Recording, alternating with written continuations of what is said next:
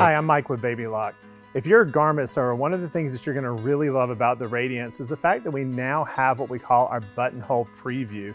Now, this is going to allow you to do a lot of that buttonhole alignment and buttonhole guide marking on the actual bed of the machine as opposed to having to pull out extra tools. So once you've actually gone into the sewing screen and you've selected one of your buttonholes, you're gonna see that up at the top, you actually have your projector and you have your guideline marker icon. I'm gonna go ahead and touch the guideline marker icon.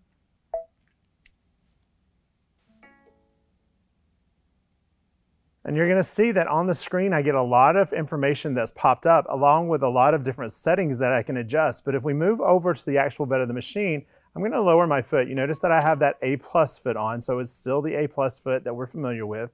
And I've got it open as if I have a button in that A plus foot. But if you look at the fabric here, you'll notice that I have some very distinct markings that are actually showing up. So the purple line that you see here, this is actually going to be the center line of my buttonhole that I stitch. This orange line that you see here is going to be aligned with the edge of my fabric. If you look over on the side, you're also going to notice that we have horizontal lines that are coming out from the edge of the foot. In just a second, I'm going to reach up here and turn my projector on. And what you're gonna see with the addition of the projector is now I'm actually seeing my projected image of my buttonhole. So this is the buttonhole that I'm ready to stitch at this point. You'll notice that at the bottom of the buttonhole, there's a straight line. At the top, there's a dotted line. If I move down to the next set of markers, you'll notice that there is a straight line and a dotted line. So as my settings are currently set, this is where my next buttonhole would be. So I would stitch this buttonhole out and then I would move it so that the buttonhole that I just stitched is gonna line up with either the top or the bottom reference points.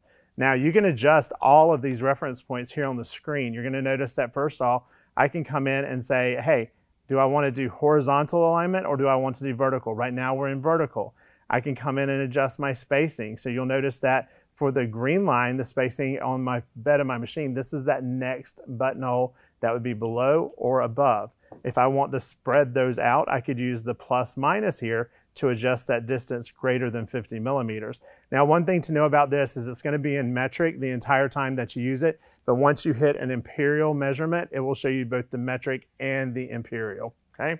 And then down below that, you're gonna see the, the orange guideline marker. This is my distance from the edge. So if I wanted to actually move this out to line up with where I have it now, I could do so just by using my plus minus. Or if I raise my presser foot, I can actually align that edge beam with the edge of my fabric so that I've got it nice and lined up, lower my presser foot again, and now you can see that that guideline marker is actually lined up with the edge of my fabric itself. I think this is going to be a huge plus for all of my garment makers out there, and I can't wait to see what you do with it.